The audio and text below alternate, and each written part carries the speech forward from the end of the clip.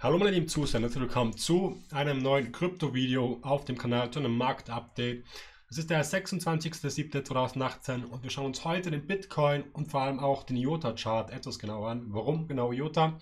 Ich schaue mir heute oder wir schauen uns heute zusammen die Korrelation an zu den Altcoins, weil jetzt eben gerade im Moment dieses Thema ziemlich brisant ist, ziemlich ein, ja, heiß diskutiertes Thema, ob die Altcoins am Sterben sind, die Leute, die wirklich ausschließlich in Altcoins investiert sind, ja, konnten diesen Run nicht mitnehmen. Wir haben beim Bitcoin jetzt einen Run gesehen von 40% mittlerweile knapp und die Altcoins sind teilweise weniger wert wie davor. Wobei sie jetzt auch ein wenig aufholen. Auf alle Fälle haben die Altcoins den Run nicht mitgemacht. Woran das ungefähr liegen kann, was ich mir vorstellen könnte und ob es jetzt wirklich noch ein tieferes Tief geben wird für die Altcoins oder was ich eben bei den Altcoins jetzt konkret machen werde, das schauen wir uns jetzt eben konkret in diesem Video an. Wir sind jetzt hier auch am Bitcoin Preischart, im Wochenchart und ihr seht, ich habe ein altes Layout wieder am Chart drin und das ist das Layout, das ich auch 2017 verwendet habe, auch Ende 2016 das erste Mal erstellt habe, weil ich einfach die hellen Farben nicht mehr sehen kann. Ich trade viel nach Price Action und ich wurde einfach immer verwirrter, je heller, je blinkender das Ganze war. Deswegen habe ich mir gedacht, back to the basics und wieder einen alten, ja, schön aufgeräumten Chart.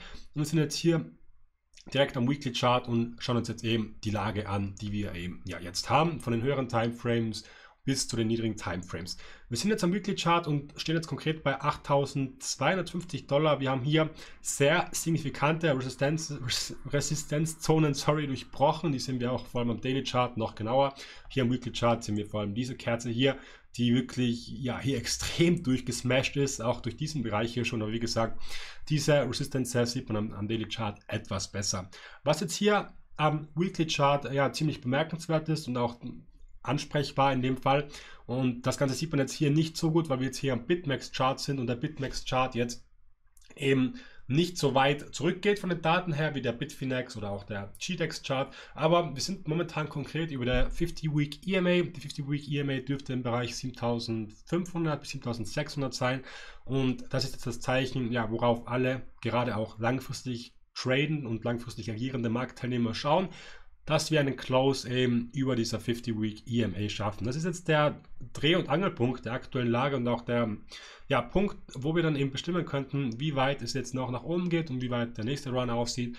Momentan sieht es ziemlich positiv aus. Ich bin der Meinung, wenn wir über dieser 50-Week EMA close und vor allem auch diesen Bereich hier halten, ich weiß, im Weekly Chart ist da ziemlich wenig, aber ist jetzt konkret diese Zone, also knapp von 7200, wobei 7200, 7300 für mich schon aktiv wäre. Sagen wir, wenn wir im Bereich 7700 halten, dann würde ich diesen Run nach oben für sehr möglich halten. Der nächste Stopp wäre dann 9560. Aber wie gesagt, wir haben noch etliche Etappen dazwischen und auch etliche Resistance Lines gebrochene, die jetzt eben auch als Support halten müssen. Warum rede ich jetzt konkret vom Weekly Chart? Ihr müsst euch das immer so vorstellen. Je höher der Timeframe, desto mehr Geld, ja, schaut auf den Timeframe.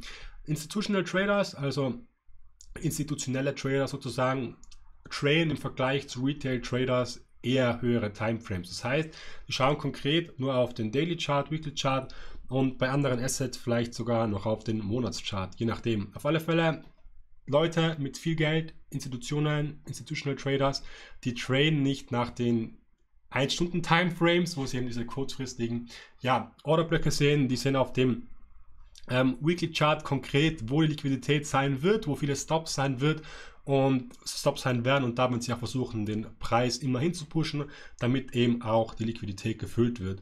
Was bei vielen eben ja vergessen wird, Institutional Traders sind jetzt nicht nur Institutionen wie BlackRock oder Goldman Sachs, die wirklich Milliarden traden oder Milliarden in die Hand nehmen. Also es gibt äh, kleine Institutionen auch, kleine Institutional Traders. Auf alle Fälle sind Institutional Traders immer anders agiert als Retail Trader und das muss man auch beim Bitcoin unterbracht haben, meiner Meinung nach, weil das hier wäre so ein klassischer ja, Stop nach unten gewesen. In diesem Bereich haben extrem viele verkauft, sind auch hier bestimmt extrem viele Stops gelegen und natürlich, wenn Stops gejagt werden und wenn Stops getriggert werden, entsteht Liquidität und wenn Liquidität entsteht, werden die Positionen gefüllt, weil wenn man 50 Millionen Dollar kaufen will in Bitcoin, braucht man entsprechend Liquidität, um die Positionen zu füllen.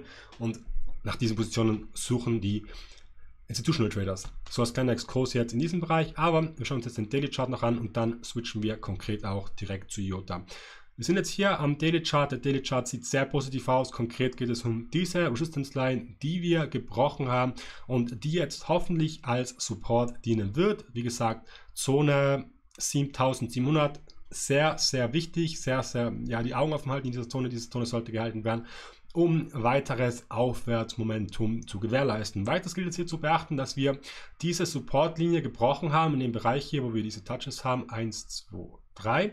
Und dieser Support-Zone hier hat erstens mal hier als Resistance gedient. Ihr habt gesehen, wir haben 1, 2, 3 Tageskerzen, die eben versucht haben, über dieser Supportzone zu schließen. Diese drei Tageskerzen wurden alle abverkauft, auch bei diesem Swing High hier. Also wir hatten hier ein Low, hier das Swing High von diesem Abwärtstrend. Das heißt, das ist auch ein sehr signifikanter Bereich. Mit, zu, mit einzuberechnen von diesem Swing Low haben wir in diesem Bereich sehr viel Support. Wenn der Support bricht, würde ich mich erstmal wieder auf ein Szenario Richtung 6,8K einstellen. Und das sind jetzt momentan meine Targets. Was den Bitcoin betrifft, wie gesagt, Korrektur ist momentan am Start. Wir können uns auch noch die FIP-Levels anziehen. Und ja, wie gesagt, man muss sich immer die Wahrscheinlichkeiten anschauen und man muss auch immer für sich evaluieren, was die nächsten Schritte sein können. Natürlich kann es auch jetzt sein, dass wir von hier aus direkt weiter marschieren. Da muss aber jeder für sich selber entscheiden, wäre das ein Setup für mich, wo ich jetzt einsteigen will, mit knappem Stop-Loss vielleicht und die letzte Tageskerze. Kann man natürlich auch probieren. Für mich ist der Bereich signifikant und ich werde mich auch langfristig auf diesen Bereich konzentrieren. Jetzt switchen wir mal zu Jota und eben die Lage, die wir momentan bei den Altcoins haben. Wir haben konkret den Bitcoin Run, der jetzt eben ja, Ende des Monats gestartet ist. Und wir hatten zwar bei Jota hier diesen Spike Anfang des Monats, der wirklich ja sehr verheißungsvoll ausgeschaut hat, also auf 1,15 Dollar hoch, aber dann wirklich ja sehr, sehr stark abverkauft wurde, wenn wir uns hier die prozentualen Rückgänge ansehen, waren das knapp 22 Prozent in sehr kurzer Zeit, also in knapp einer Woche, die Jota wieder liegen gelassen hat, während der Bitcoin eben gerannt ist. Normalerweise kennen es viele Leute immer noch so, wenn es Bitcoin gut geht, geht es allen Coins gut. Das heißt, in Bitcoin pump, pumpen die Altcoins und umgekehrt ist natürlich nicht immer so. Hatten wir letztes Jahr auch, dass wirklich Ethereum und alle anderen Coins erst weit nach Bitcoin gepumpt sind. Warum erwähne ich jetzt konkret IOTA? IOTA ist für mich so das Paradebeispiel für Altcoin im deutschsprachigen Bereich, weil eben sehr viele Leute die Preislevels wissen bei Jota, die wissen, okay, 2 Dollar ist viel, 1 Dollar ist wenig. Und man kann bei Jota eben auch die meisten Leute ein wenig Relation bieten und eben auch, ja, die, den Anstoß geben, irgendwie mit diesen Coins sich auseinanderzusetzen, als wenn ich jetzt Cardano nehme oder was auch immer. Deswegen IOTA, es geht um Altcoins generell, bevor sich jetzt irgendwer von IOTA angesprochen fühlt. So, was ich konkret bei IOTA gemacht habe, war eben, was ich immer mache, wenn ich einen Chart neu öffne, ich markiere mir alle Highs und Lows, wo ich ja eben Liquidität gesehen habe, wo ich viele Orders gesehen habe, wo ich gesehen habe, dass der Markt umkehrt und wo ich auch gesehen habe, dass der Markt Resistenz zeigt, also Resistance. Das hatten wir hier, hier, ich meine, man sieht es eh ganz gut, hier, konkret hier, also die Linien waren alle schon vorher angelegt, bevor sich hier der Markt hier gestoßen hat. Und was ich dann bei Jota konkret gemacht habe, war der Kauf hier. Ich habe es auch auf Twitter gepostet, also können wir gerne auf Twitter folgen. Da poste ich solche Byte-Zones immer. Ich schreibe auch immer dazu natürlich, ja, bitte Stop und so weiter nicht vergessen und Stop drunter legen oder auch in meiner Gruppe, weil ich versuche halt die Leute bei Swing-Positionen zu helfen. IOTA war ganz klar hier ein Buy und konkret, wie man das gemacht hat mit Price Action, schauen wir uns jetzt auch an. Der Einstiegspreis war hier bei 95 Cent, glaube ich. Also der ging auf 92 Cent oder bei 95 Cent habe ich ihn dann gekauft. 92 Cent war hier. Warum wollt ihr nicht direkt den Boden kaufen oder warum solltet ihr eure Buy Orders nicht direkt auf den Boden legen. Der Grund ist ganz einfach. Wir haben beim Buy oder auf dem Boden ziemlich viel ähm, Risiko beinhaltet, weil ihr müsst euch denken, eine Resistance Line ist nicht nur, eine Support Line, sorry, ist nicht nur positiv für Käufer, sondern auch positiv für Verkäufer. Warum? Viele Käufer, viele Verkäufer, sorry, viele Shortseller warten hier mit einem Market Order, weil sie sehen, okay, wenn diese Support-Linie bricht, dann hätten wir ein Szenario, wo wir wirklich nochmal ordentlich was mit einer Short-Position rausholen könnten. Das heißt, wenn eine Support-Linie knapp ja, unterboten wird, dann können da sehr viele Short oder auf einmal reingehen, was den Markt ziemlich schnell nach unten bewegen würde und was für ein tieferes Szenario sprechen würde. Das heißt, wir hätten hier nochmal einen 4%igen Fall gesehen, das wollen wir nicht.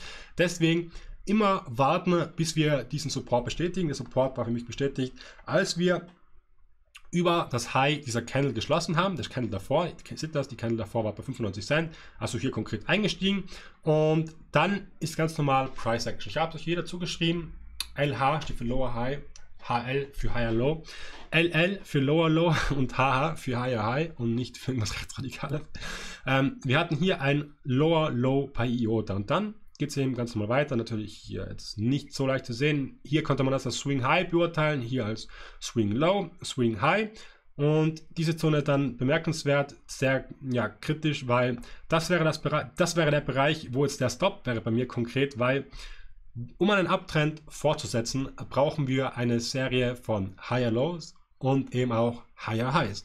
Wenn wir dieses Higher Low hier brechen, haben wir kein Higher Low mehr, dann haben wir ein Lower Low. Das heißt, wir werden wieder in einem Downtrend. Wir haben gerade hier geschafft, ein Higher High zu formen und wenn wir dann das Low wieder brechen, sind wir wieder in einem Downtrend. Ähm, Test des Supports wäre dann sehr wahrscheinlich. Haben wir auf den Dollar genau gehalten. Also das sind wirklich die Zonen, äh, wo ihr Ausschau drauf halten solltet. Das sind die Pivot Points und das sind auch die Swing High, Swing Low Points, wo ja sehr hohe Wahrscheinlichkeit ist, dass wir von diesem Punkt wieder nach oben gehen. Das haben wir auch hier gesehen mit diesen ganzen Wicks nach unten, dass hier ziemlich viel, ja, Eindruck herrscht, eben den Markt von hier nach oben zu pushen. Was wir dann sehen, Weiterführung des Uptrends, hier jetzt nochmal dieses Swing Low und hier ist das nächste Swing High und jetzt sehen wir der konkrete Zeitpunkt für ein Retracement und wir hoffen natürlich, dass wir ein Higher Low formen. Higher Low wäre dann zum Beispiel hier bei IOTA ziemlich gut in dem Bereich, ja, hier vielleicht, wenn wir diese Supportlinie nochmal testen, im 0,5 Bereich, auch gut für den Einstieg. Was ich bei IOTA jetzt konkret targete, ist eben der Bereich 1,10 Dollar wäre ein sehr gutes Swing High Target und 1,15 Dollar das maximale Swing High Target jetzt erstmal. Wir formen jetzt bei Jota gerade wieder einen Aufwärtstrend. Der Aufwärtstrend muss bestätigt werden, indem wir jetzt wieder einen Lower High formen. Aber konkret die Lage bei Altcoins momentan sehr, sehr schwierig aufgrund der Bitcoin-Dominanz, des Bitcoin-ETF-Hypes. Es haben sehr viele Leute ihr Geld abgezogen aus den Altcoins, um eben in Bitcoin zu investieren und in diesen Bitcoin-ETF-Hype zu erwischen. Ich glaube nicht, dass das nachhaltig ist, weil eben der Wechsel des, des, Market Caps, also es war klar zu, Sicht, klar zu sehen, dass jetzt nicht so viel neues Geld in den Markt kommt und den Bitcoin hochpusht, sondern es waren wirklich sehr viele Leute dabei, die ihre Altcoins verkauft haben, um diese Bitcoin-Welle mitzureiten. Das heißt, ich gehe schon davon aus, wenn wir jetzt diesen Hype beendet haben und wenn jetzt wieder Normalität am Markt einkehrt, dass die Alts auch nachziehen und dementsprechend auch die Alts sehr gut aussehen langfristig. Wir haben hier bei Jota eine sehr, sehr gute Buy-Zone. Also der, der wirklich absolute Lowpunkt bei Jota wäre für mich bei ja, 0,88, wo dann vielleicht nochmal ein Stop-Hand ist. Aber wie gesagt, für mich ist bei den Altcoins in diesem Bereich auch der Boden hin. Ich bin kein großer Fan von Altcoins generell, was ja langfristig das Ganze betrifft. Altcoins sind für mich wie Penny Stocks. Ich schaue mir den Chart an, ich schaue an, wo Swing Highs waren, Swing Lows waren, wo ein guter Einstiegszeitpunkt ist. Ich kaufe die Alt da zu dem Punkt. Mir ist es komplett egal, was der Altcoin macht, was er für ein Team hat, was die IOTA generell gerade macht. Ich schaue auf den Chart und habe jetzt eben dadurch schon, keine Ahnung, 10% plus gemacht und so mache ich das auch bei anderen Altcoins. Langfristig gesehen kann ich Altcoins nicht beurteilen.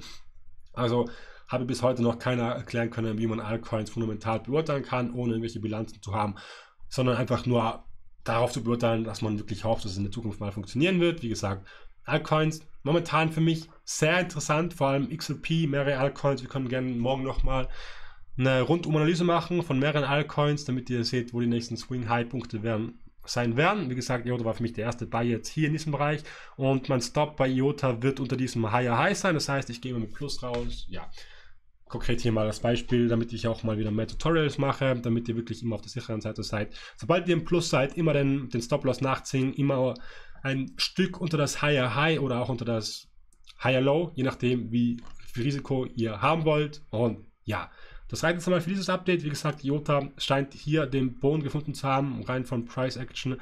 Ich warte einen Retest von der 1-Dollar-Linie. Wenn wir 1 Dollar halten, sieht es sehr positiv aus. Wäre ein Szenario Richtung 1,10 Dollar. Wenn wir 1 Dollar nicht halten, wäre ein Szenario Richtung 92 Cent wieder möglich. Und 92 Cent wäre dann die letzte Bastion vor 88 Cent. Ich bedanke mich für eure Aufmerksamkeit und wir sehen uns im nächsten Video. Euer Technical Crypto.